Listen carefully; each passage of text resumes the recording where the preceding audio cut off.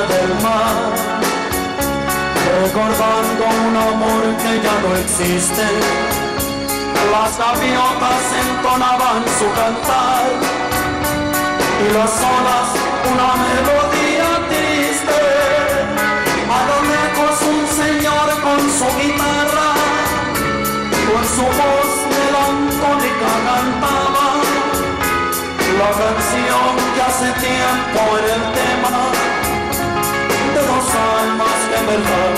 Siamo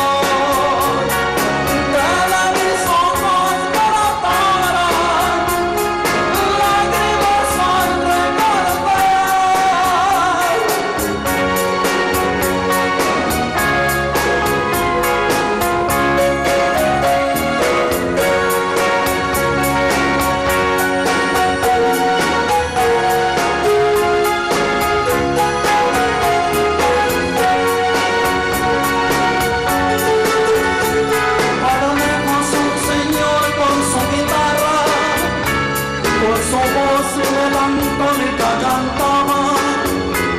La canción que hace tiempo eres